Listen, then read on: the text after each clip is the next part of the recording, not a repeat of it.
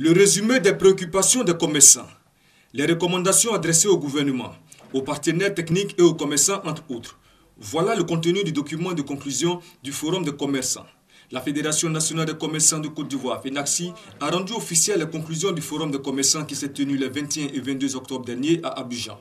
Occasion pour la FENAXI de remercier ses partenaires. C'est l'occasion pour nous aujourd'hui de vous remercier de vive voix pour nous avoir accompagnés. Nous attendions de la part du gouvernement et du chef de l'État des prises de décisions idoines pour l'amélioration des conditions de travail des commerçants et autres problèmes qui minent le secteur du commerce en Côte d'Ivoire.